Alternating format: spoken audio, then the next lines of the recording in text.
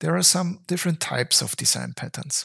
Of course, these types, uh, this this grouping of types, is a little bit artificial, but it boils down to what are very big patterns which have a huge impact on your whole uh, software architecture.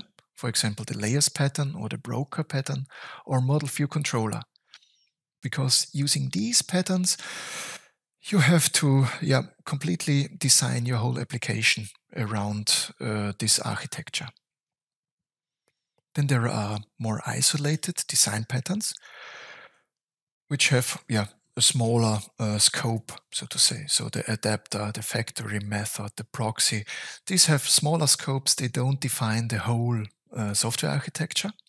And there are very small idioms, so they are called, um, which are very fine-grained patterns. So really patterns um, for one specific language, for example, or one very specific um, problem.